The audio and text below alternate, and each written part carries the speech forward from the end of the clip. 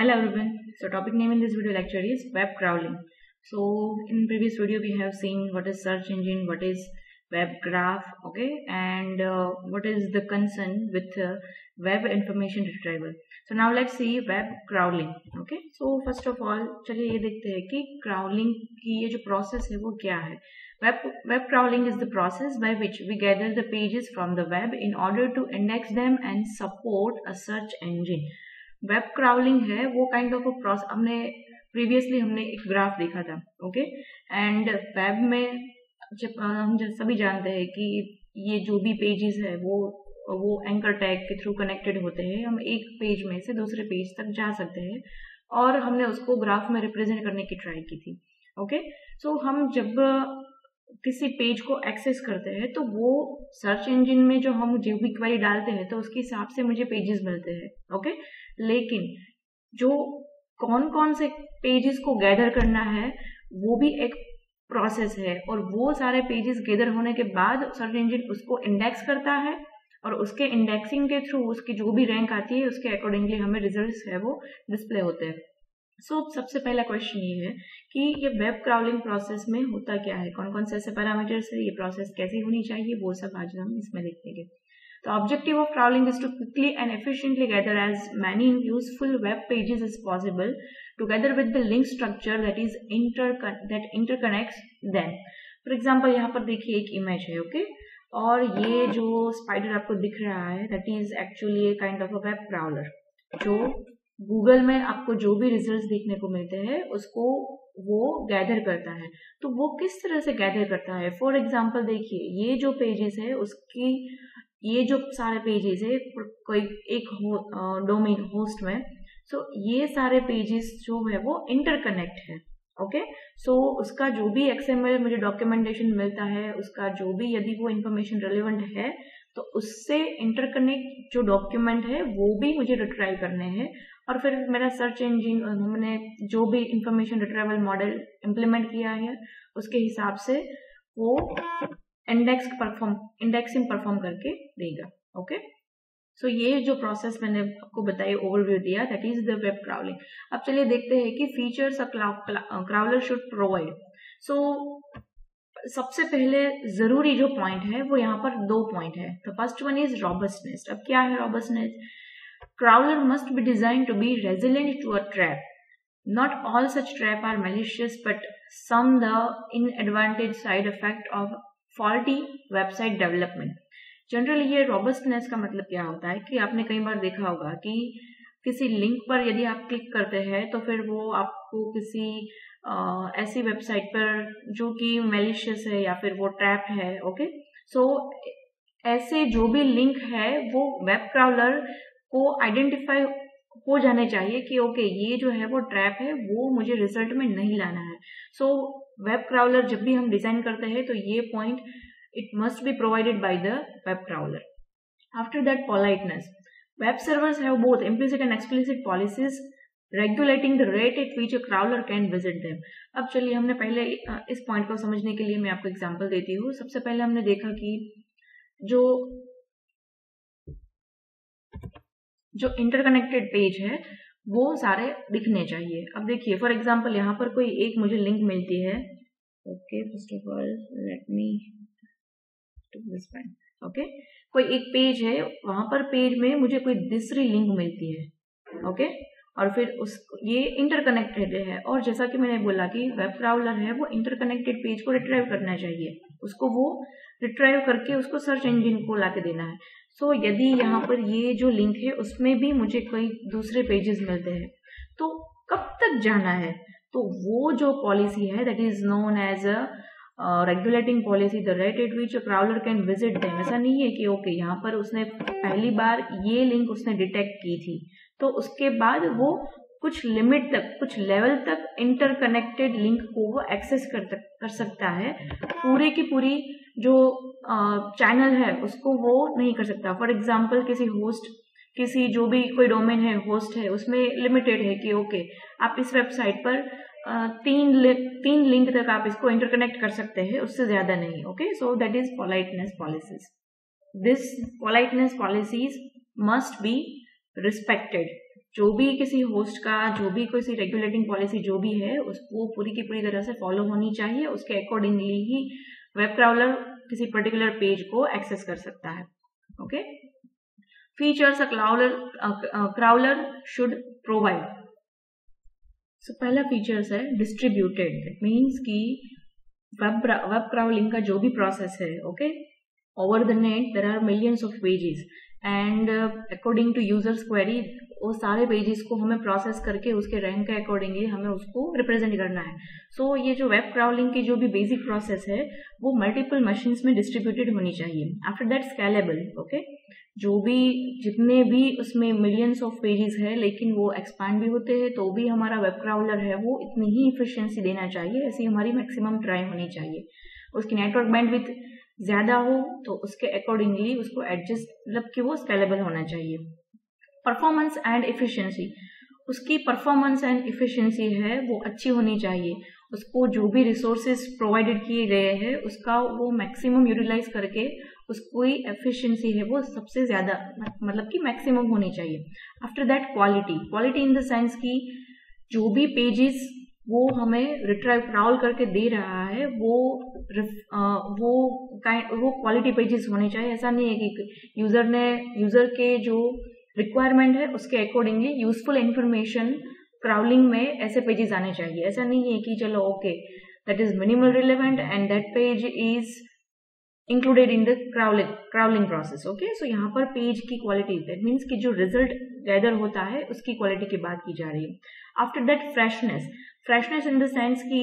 जो भी पेजेस यहाँ पर रिट्राइव हो रहे हैं वो पेज फ्रेश यानी कि वो अपडेटेड यदि पेज पेज है तो उसको वो उसकी प्रायोरिटी यही होनी चाहिए कि हमें जो अपडेटेड पेज है वो रिट्राइव करके दे। ऐसा नहीं है कि जो आर्काइव्ड पेज है जो कि ऑलरेडी चेंज हो चुके हैं और वो पेज हमें हमारा वेब क्राउलर रिट्राइव करके दे रहा है। सो so, ऐसा नहीं होना चाहिए। Result must be fresh after that extensible extend extensible in the sense की हमारे हमें जो भी ये जो वेब क्राउलर हमने डिज़ाइन किया, हमने डिज़ाइन किया है या फिर करना चाहते हैं, वो किसी पर्टिकुलर प्रोटोकॉल वो उसकी लिमिट नहीं होनी चाहिए ओके वो नए नए जो भी डेटा फॉर्मेट्स है, उसको सपोर्ट करना चाहिए, जो भी प्रोटोकॉल्स हम इंट्रोड्यूस करते हैं तो उसके अकॉर्डिंगली भी उसका वर्क हमें उसका आउटपुट हमें मिलना चाहिए okay so in that sense it should be extensible now let see some basic operation that is included in the crawling the basic operation of any hypertext crawler the first one is the cloud crawler begins with one or more U R L that constitute a seed set अब देखिए generally seed set that means a point from where process process is is getting started okay so seed point that is the starting point from where crawler उसकी process है वो शुरू करेगा it can be one or it can be more than one okay so यहाँ पर basically set है URL का it picks U R L from this seed set and then fetches the web page at that U R L for example यहाँ पर मुझे एक page है late से कि ये ए वन ओके ये हमारा सेट है A one and A two that is actually link U R L A one and A two so crawler क्या है? वो सबसे पहले किसी एक लिंक को लेगा और इस पर्टिकुलर पेज में मुझे फर्दर जो भी लिंक मिलती है उन सबको वो फैच करेगा okay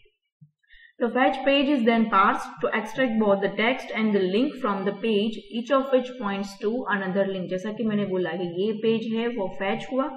सो so, इसके टेक्स्ट को भी पार्स किया जाएगा उसको डिस्प्ले किया जाएगा साथ ही साथ। इस पर्टिकुलर पेज में हमें जो भी लिंक्स मिलते हैं for example B one B two and B three okay so इस तरह से लिंक को भी एक्सट्रैक्ट किया जाएगा। The extracted text is fed to a text indexer and the extracted links are then added to the URL frontier which, which which at all times consist, cons, uh, consist of URLs whose corresponding page have yet to be fetched by the crawler. So यहाँ पर basically इस चीज़ को maintain करने के लिए यहाँ पर Q implementation होता है okay? so देखिए जनरली सीड पॉइंट में जैसा कि मैंने वो स्टार्टिंग होती है वन ए टू सो यहाँ पर पहली जो यू है वो फैच की गई okay? और उसके फैचिंग में हमें ये दोनों ये तीन अलग यू नहीं मिलती है तो उसको यहाँ पर पीछे यहाँ पर अपेंड किया जाएगा so it's kind of a queue structure okay the entire process may be viewed as a traversing the web graph in continuous crawling, the URL of a fetched page is added back to the frontier for fetching again in the future. जैसा कि मैंने बोला okay? जो भी हमें URL मिलते हैं नए नए पेजेस के, वो सारे हमें क्यू में पीछे अपेंड होते हैं। Some basic properties any non professional traveller should satisfy the first one is only one connection should be open to any given host at a time after that a waiting time of a few second should occur between successive request to a host कुछ second का ही उसमें request में waiting time होना चाहिए। Politeness restrictions should be obey जैसा कि मैंने बोला कि हर होस्ट की कुछ पॉलिसी होती है कि कोई भी कोई भी वेब क्राउलर है वो इस पर्टिकुलर होस्ट में इस पर्टिकुलर वेबसाइट के लिए वो इतनी लिंक को ही क्राउलिंग uh, प्रोसेस में वो फैच कर सकता है ओके okay? उससे ज़्यादा नहीं। Now let's see the component of a web crawler architecture so यहाँ पर एक आपको इमेज दिखेगी। अब देखिए यहाँ पर सो so, यहाँ पर वो सारे कंपोनेंट्स है like a domain name translation robot exclusion download post processing so चलिए देखते हैं कि ये जो देखिए जैसा कि मैंने बोला था कि यहाँ पर क्यू मेंटेन की जाती है और उस क्यू में से जो भी सबसे पहले लेट से कि यहाँ पर ए वन लिंक है सो so, वो फैच करके उसका सबसे पहले डोमेन नेम ट्रांसलेशन होता है उसका मुझे आईपी एड्रेस मिलता है और वो सारे उसमें कुछ जो भी उसको कैश भी किया जाता है। आफ्टर दैट रॉबर्ट्स एक्सक्लूजन ये क्या है वो हम डिटेल में देखेंगे आगे की कुछ ही कुछ ही स्लाइड में। आफ्टर दैट डाउनलोडिंग प्रोसेस है after that post processing okay so चलिए देखते हैं कि इस हर कंपोनेंट में उसका क्या रोल है। The activity of a large scale web crawler must be distributed across multiple machine in order to sustain the necessary download rates so यहाँ पर ये जो सारे कंपोनेंट्स है okay domain name translation robot exclusion protocol download post processing and priority queue उसको उसको हम थोड़ा डिटेल में देखेंगे। The first is domain name translation the processing of U R L begin by translating its host name into a thirty two bit I P address although the speed of D N S is acceptable for most application its speed may be inefficient to satisfy the demand of a web traveller because web traveller के, उसके पास बहुत सारे pages मिल pages है, वो millions number में होते हैं। और फिर उस सारे पेज को उसको फैच करके उसको पूरी की पूरी क्राउलिंग प्रोसेस है वो कंप्लीट करनी है विच में require thousands of translation per second. To satisfy this translation rate, the crawler may need to maintain its own translation cache. तो जैसा कि मैंने बोला वहाँ पर वो कैश का भी मेंटेन करता है क्यों कहता है because it may be possible that कि फ़र्स्ट किसी पेज है वो फ्रिक्वेंटली वो रिट्राइव होता है सो so, यदि हम उसको, उसकी डेटा को कैश कर लेते हैं तो फिर वो इन फ्यूचर में हम उसको डायरेक्टली यूज़ कर सकते हैं। अगेन उसकी ट्रांसलेशन करने की ज़रूरत नहीं है। This cache would maintain mapping between the host name and I P address experience expiring and refreshing this entries as they grow as they grow stale that means कि यदि उसमें कुछ चेंजेस आते हैं तो फिर उसको रिफ्रेश भी करना पड़ता है। After that robots exclusion protocol with the I P address available the crawler must check that access to the page is permitted by the website जैसा कि मैंने बोला कि हर होस्ट है, वो कंट्रोल कर सकता है कि किसी पर्टिकुलर वेब क्राउलर उस पर्टिकुलर होस्ट में, उस पर्टिकुलर डोमेन में वो एक्सेस कर सकता है या फिर नहीं कर सकता है। This permission is determined through robot exclusion protocol for a given site access permission are obtain by appending the path slash robot.txt to the host name and the downloading the corresponding page. So, किस ये जो particular page name आपको दिया गया है robots dot T X T तो ये जो पर्टिकुलर फ़ाइल है, वो हमें इंफॉर्मेशन देती है कि कौन सा पेज हमें एक्सेस वेब क्राउलर है, वो एक्सेस कर सकता है या फिर नहीं कर सकता है okay so the U R L this यहाँ पर जो एक फिगर है, उसमें दिया गया है कि इस पर्टिकुलर यू आर एल के ये यू आर एल के लिए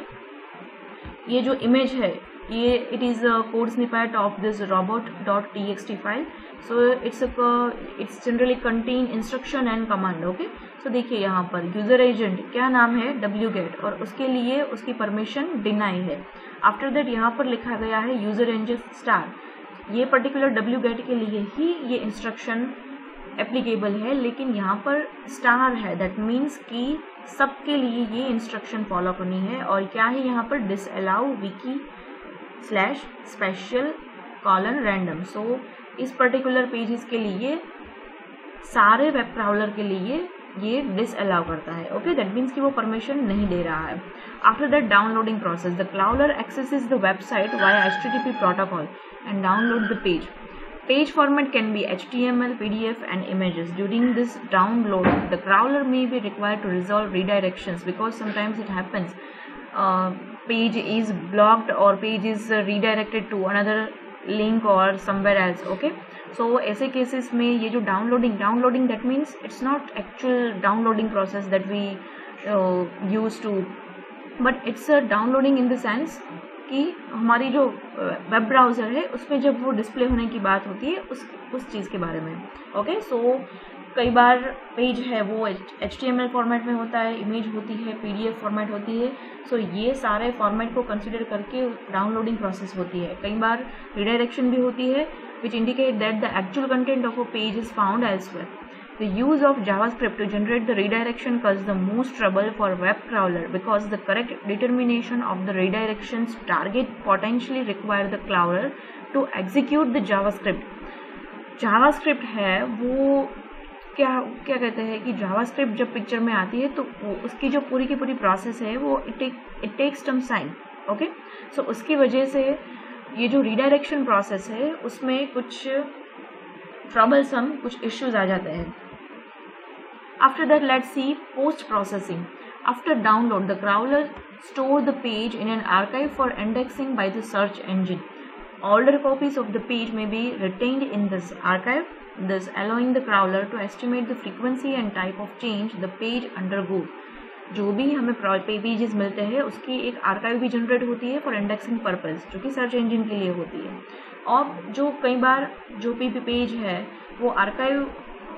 आर्काइव करने की एक वजह और भी है कि यदि वो पर्टिकुलर पेज है, वो अपडेट हो रहा है और अभी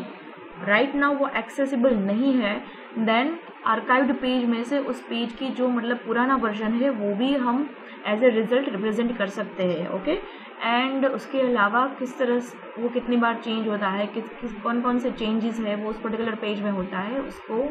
उसका एनालिसिस करने के लिए उसको आर्काइव किया जाता है if the download fails perhaps because the site is temporarily inaccessible the older copies remain available for indexing. During the post processing, the crawler must be respect conventional requesting that is not a, not index a page और follow certain links. For example, देखिए किसी particular page में यहाँ पर tag में यहाँ लिखा है name robots and content no index. यदि किसी पेज में हमें इस तरह से कंटेंट मिलती है then this convention should be followed it should be respected that means कि ये पर्टिकुलर पेज है वो हमें इंडेक्सिंग में नहीं लेना है इसके अलावा एक और भी एट्रीब्यूट है R E L R A L is equals to no follow okay so यदि ये एट्रीब्यूट इस तरह से सेट किया गया है in anchor tag which indicate that the crawler should essentially ignore the link okay so यहाँ पर देखिए. सो so, यदि इस तरह से मुझे लिंक मिलती है देन क्राउलर को ऐसी ऐसे लिंक को इग्नोर करना है. इसको फर्दर आगे इसको फैच करके